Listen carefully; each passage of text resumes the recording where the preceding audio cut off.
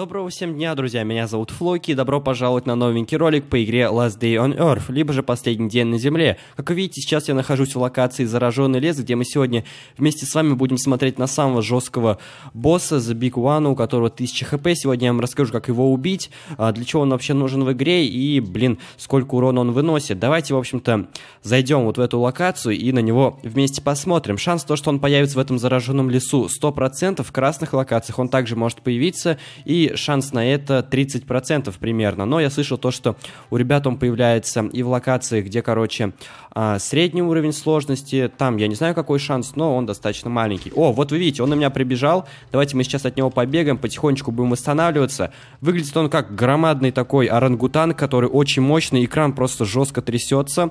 Сколько я ему наношу с пистолета? Ой-ой-ой. Один хп всего лишь, один хп, ё-моё. Это полная жесть. Зараженный лес это вообще что-то. Это просто что-то, и я отсюда ухожу. Мне было самое главное вам его показать, и теперь я вам рассказываю, как его убить, для чего он вообще нужен в игре.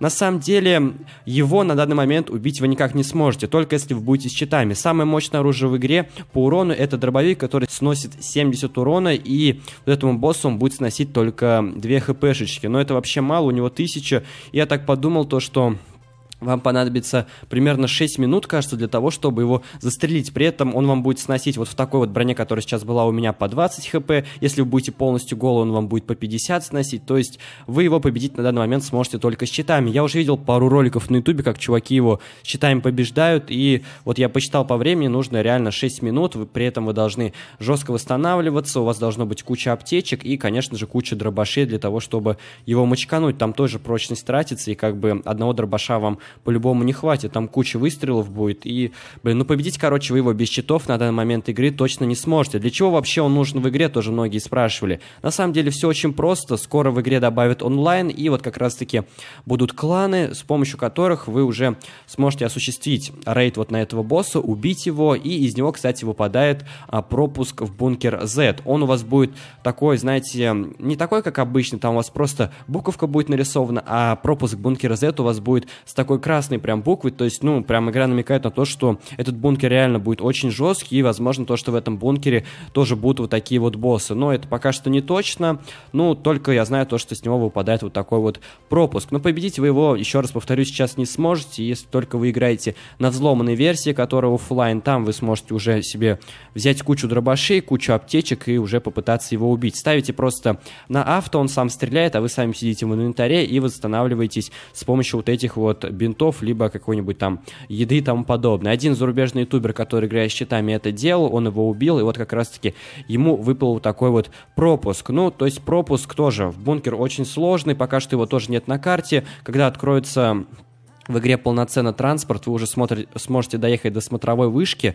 у вас откроется другая часть карты, и там уже вы посмотрите, может быть, все-таки он тут где-нибудь рядом с вами будет или где-нибудь в другом месте. Пока что это все неизвестно, но вот самое главное, что сейчас про босса известно, я вам рассказал, и на самом деле этой информации на данный момент вам точно хватит. Если вы его увидели, сразу говорю, не пытайтесь вообще ему ничего сделать, вот как вы сейчас заметили, я взял огнестрел, вот такой вот глок, у него урон 20, и, блин, это полная жесть. У него урон просто в 20 раз уменьшается. То есть не пойма, непонятно, какая у него там броня у этого громадного просто босса. Похож он на обезьяну, многие его так и называют. И, блин, он реально очень странный. Еще, кстати, похож на Громилу или на танк, он вроде бы называется из игры Left 4 Dead.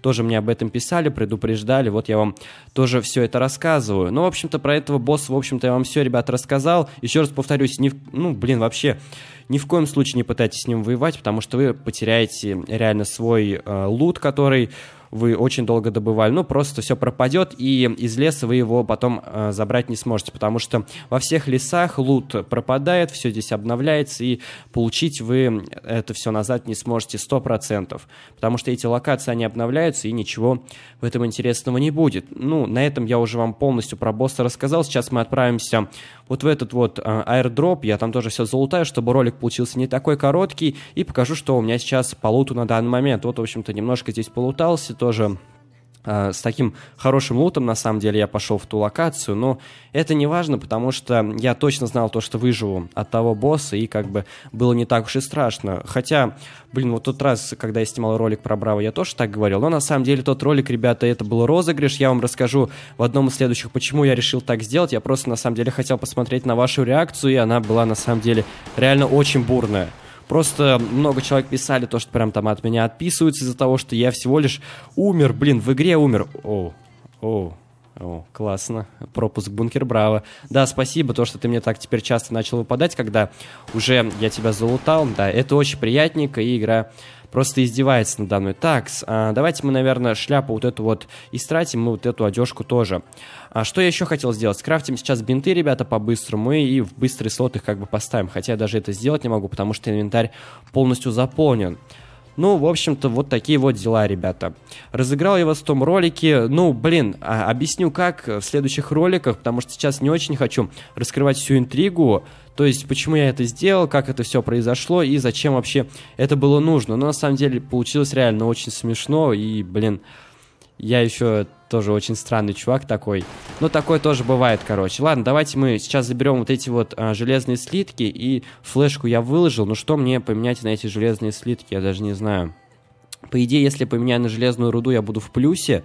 Но, блин, и слитки, и железная руда мне нужна, так что нужно брать что-нибудь другое. Давайте мы тогда сделаем вот таким вот образом. Сейчас я себе скрафчу бинты и мы эти бинты в быстрый слот поставим, и как раз-таки у нас а, появится один свободный слот. Все, теперь мы можем отсюда спокойненько домой отправляться и с хорошим таким лутом. Ну вот, в общем-то, ребят, на этом уже ролик точно можно уже закончить. Я не только вам рассказал про босса, еще залутали такой неплохой гуманитарный груз, но, блин, конечно, больше привычно говорить airdrop, не знаю почему, но все-таки во всех выживалках так гораздо лучше как-то это звучит. В общем-то, ребят, надеюсь, что ролик вам понравился, про босса я вам точно все рассказал. Вот сейчас все вся информация, которая есть, про него вы просто услышали в этом ролике, и нигде больше информации про этого босса вы найти не сможете. Тут прям все достоверно, все точно, и блин, ну, без каких-либо, как бы, обманов. Все прям по-настоящему, я вам его показал, и все. Окейушки, ладно, возвращаемся домой, и на этом уже можно, наверное, заканчивать ролик, ребята. Всем огромное спасибо, пишите ваши комментарии, что вы думаете по поводу этого громила, пишите что-нибудь еще интересненького, все советики, я все прочитаю. Ставьте лайки, подписывайтесь, всем удачи и пока-пока.